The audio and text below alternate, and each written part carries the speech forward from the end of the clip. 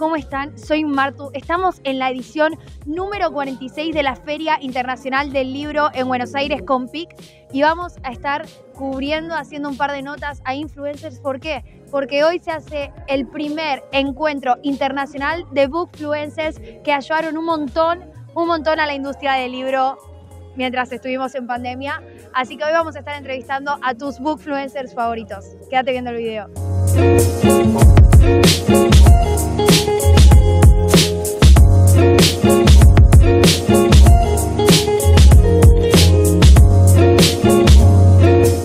Bueno, gente, ¿qué onda? Estamos acá con Manu. Hola, Manu. Hola. ¿Cómo eh, estás? Me sacaste el micrófono. Ah, Manu. perdón, no sé. Tipo, voy a estar así porque Ah, no hay bien, otro. No hay presupuesto. ¿Cómo estás? eh, todo bien, todo bien. Estoy con unos nervios. Es la primera vez que vengo a un encuentro de estos. ¿En serio? Sí. ¿Y qué onda? Eh, me, invi- me invitaron eh, más que nada por, por el contenido que hago en TikTok de libros. Eh, yo hablo más que nada de Harry Potter, Percy Jackson y, y todo eso.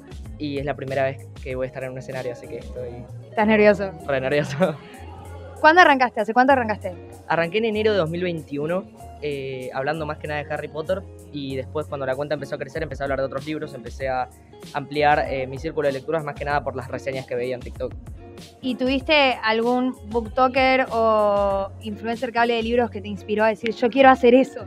Tori, eh, de Victoria Come Libros, Ay, obviamente, y Cami de América de Espucia Sí. y Almendra, que son las tres más, bueno, digamos, las, las más reconocidas. Y me inspiraron mucho porque me gustaba mucho su manera de hacer reseñas y su manera de expresar eh, cómo recomendaban libros. ¿Es tu primer evento así grande? Sí. En realidad no es mi primero porque el domingo primero de mayo estuvimos acá en la sala José Hernández con Tori Resco, que publicó Reino de Papel, y con Maxi Pisicotti, que, que publicó Todas Nuestras Noches, en un evento de la editorial BIR. Así que no es el primero, pero es de los primeros. ¿Estás nerviosa? Muy. ¿De qué vas a hablar ahora en la charla? Ahora vamos a hablar eh, de booktokers. Eh, yo soy booktoker, por si no saben. eh, que es como esta rama de hablar de libros que empezó hace relativamente poco con la pandemia. Así que ahora tenemos como un panel de ocho de nosotros, así que vamos a hablar un poco de eso. ¿Te acordás cuándo arrancaste? Sí, arranqué en julio de 2020, en plena pandemia. ¿Y te acordás cuál fue el primer libro que recomendaste o del primero que hablaste? Sí, el primer libro del cual hablé es eh, la trilogía de Stephanie Perkins, Lola and the Boy Next Door, Anna and the French Kiss y Island and Happily Ever After. ¿Y qué onda? ¿Cómo, ¿Cómo fue la repercusión de ese primer video?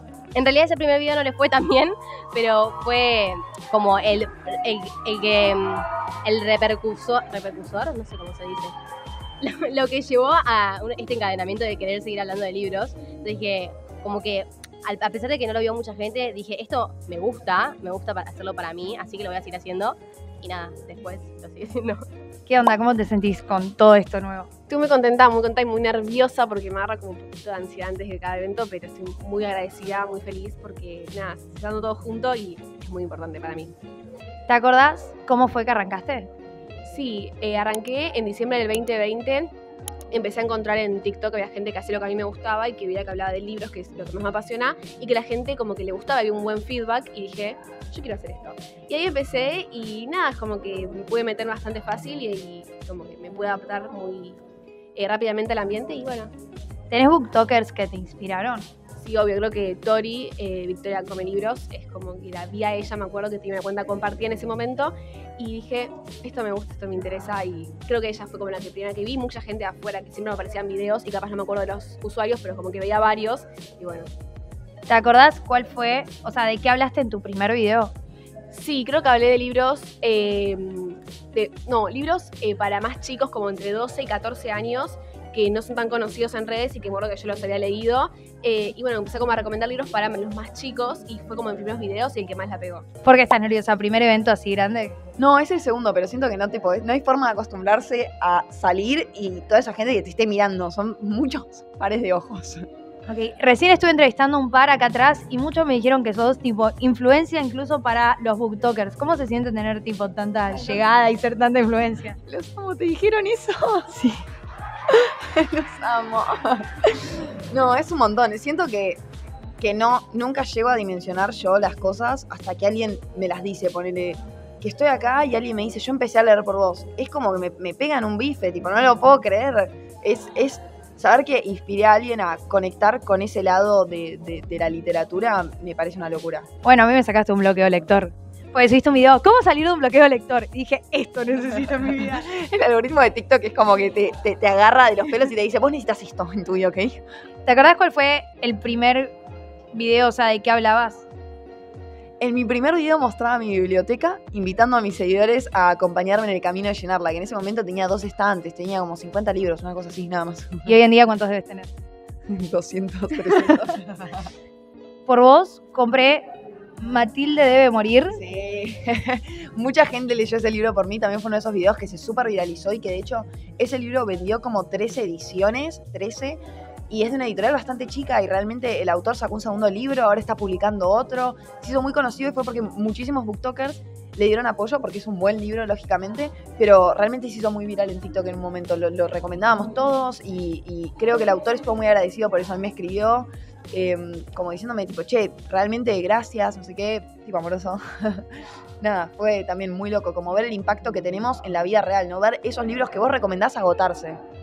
Te hago una pregunta, ¿te acordás cuál fue, de qué hablabas en el primer TikTok que se te pegó o el primero que dijiste, pa, estoy teniendo como más reproducciones que tres?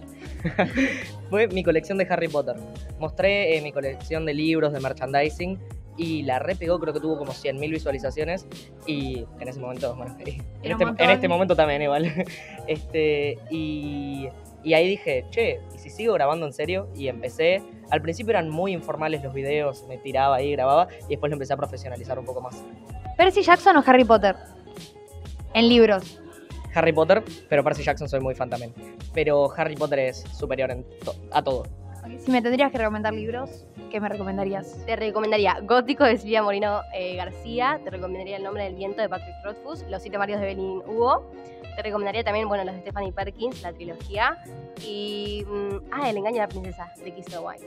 Y en esta feria del libro te pasó de conocer a alguien, algún escritor o algo que admirabas y decís, pa, está acá dando firmas o él está acá caminando. Sí, ¿sabes que sí? O sea, tuve una entrevista con Shelby Mahuin, eh, la autora de Asesino de Brujas, que cuando me lo dijeron, me lo dijeron cuando estaba en plena clase de la facultad, me largué a llorar.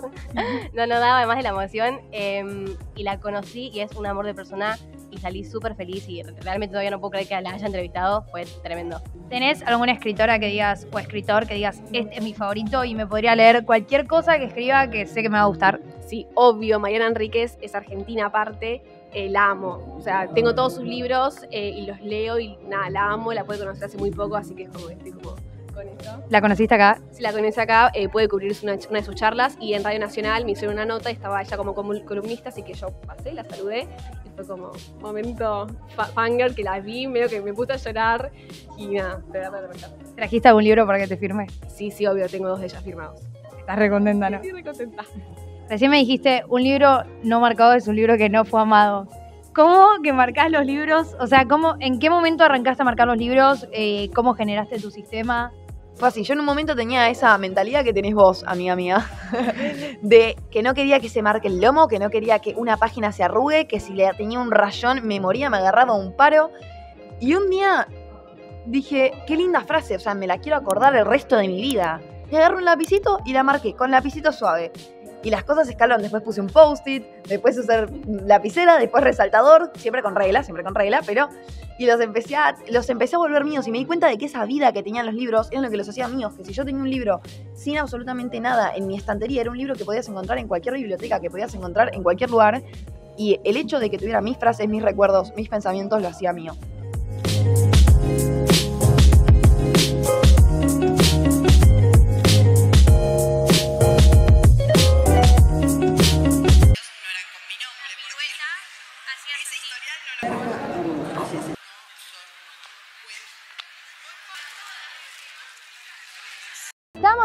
A BR. ¿Por qué? Porque los TikTokers me han obligado a comprar sus libros. Entonces tengo que comprarlos. Y además está el de Heartstopper, que me vi la serie el otro día y me lloré la vida. Entonces ahora lo tengo que leer. ¿Viste? Es re linda esa serie.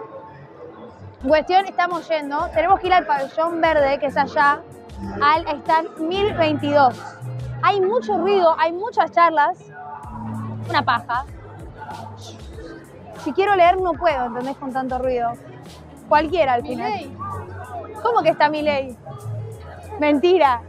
Está mi ley.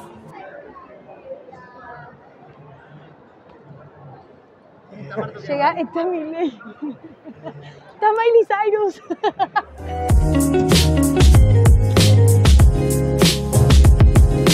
Estamos en el pabellón verde ya, así que God, Anaye, wow, wow. Creo que no puedo decir esa palabra. Sol me está guiando a donde tengo que ir, así que estamos caminando.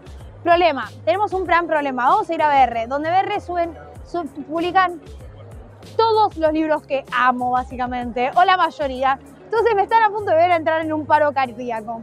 Pero no pasa nada. Sol tiene el mapa. Soy el mapa, soy el mapa, soy el mapa, soy el mapa. Cuestión, Sol tiene el mapa. ¿Ven? Lo tendríamos que haber streameado desde acá. No, pero ¿sabes lo que es el wifi de acá? Sí, una poronga. ¡Ahí está Penguin! Les voy a explicar de qué se trata Penguin. Penguin, aunque no lo crean, es una editorial de Estados Unidos la cual se encargó de hacer libros de menor presupuesto para que la lectura pudiera llegar a más gente en su momento. No, británica creo que es la editorial. No sé, pero qué nivel, Martu, que sabe estas cosas, ¿eh? Eu, eu adoro los libros. Ay, no, pero pará, si los compro, los compro en inglés, Heartstopper. No, bueno, no importa. Vamos a seguir. ¿Cómo saben que no me estoy afanando un libro? ¿En serio tienen un porcentaje de pérdida? O sea, ¿me puedo afanar un libro? Hay una firma de una persona que en este preciso momento me arrepiento de. Está Facundo Arana firmando libros. Actor argentino. ¿Sabías que Facundo Arana una vez, les cuento, vamos. Una vez hice una campaña de donación de sangre para mi colegio, para el Garrahan, y Facundo Arana se recopó en mandar un video como diciendo, eh, donen. Y tipo nos reayudó a tener más donadores de sangre. Les presento BR. BR, no, BR siempre publica tipo todos los, todos los libros juveniles importantes, tipo Maze Runner fue publicado por BR, por ejemplo. Eh, Maze Runner fue publicado por BR, por ejemplo. Claramente BR se copó, se copó y los amamos en sacar los libros de Tori y de Maxi. Eh, God apoyar a los TikTokers. Tal vez, ay, ay, si me hacen descuento sería muy feliz. Yo tengo todos los de Maze Runner, ponele, de BR. Tiene una edición muy linda. No me está pagando BR por decir todo esto. Si me estuvieran pagando sería mucho más feliz. Yo quiero descuento. me- Mirá, yo te voy a hacer algo. Yo te puedo mostrar mi TikTok, mi Instagram y podemos hablar a ver si tipo 10 menos cuarto cuando venga a comprarme hacen un descuentito. corto de mi casa. Vale. Hay chance de poder hablar con alguien que me haga un descuentito. Yo te muestro mi TikTok. ¿Cuántos seguidores? Nosotros En TikTok para- 1.900.000.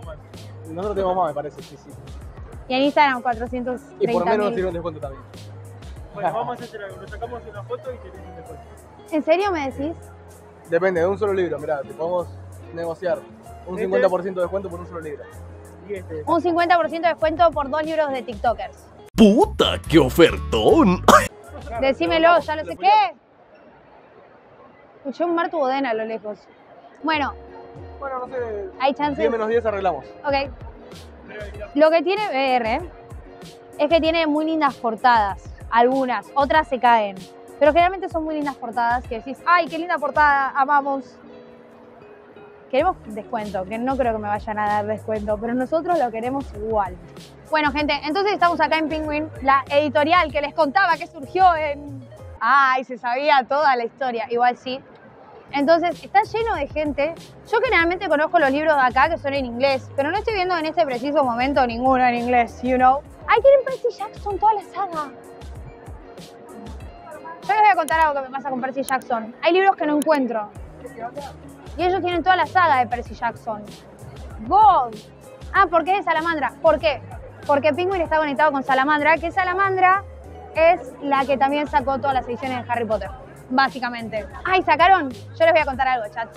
Había una historia que yo leí, la primera de las, la- una de las primeras... Ah, yo me estoy acercando y vos te estás alejando. Una de las primeras historias que yo leí que me introdujo a la lectura fue Hash Hash, donde Patch, que era un ángel negro que caía del cielo, ¡ah! era el chico malo y te venía a chamullar. Y bueno, es de, es de Alfaguara, porque también está Alfaguara. Alfaguara es generalmente la que lees en el colegio. ¿Viste la editorial que lees en el colegio? Esa es Alfaguara. Amo, amo la portada de este libro. Ah, Esta edición es la edición más linda que vi. Es más linda que la de inglés, para que se den cuenta. Pero, cuestión que eso. ¡Ay! Si vieron. ¡Ay! No sé si vieron Wonder en Netflix, pero el libro es esta, La lección de Gogos, y también es re linda. Es un chabón que que tiene una deformidad y bueno, le hacen, le hacen bullying por eso. Magali Tajes también sacó libros acá. Ah, ¿cómo estoy, eh? Qué caros que están los libros igual. O sea, estoy viendo los precios y digo, "Mm, menos mal que no tengo plata encima.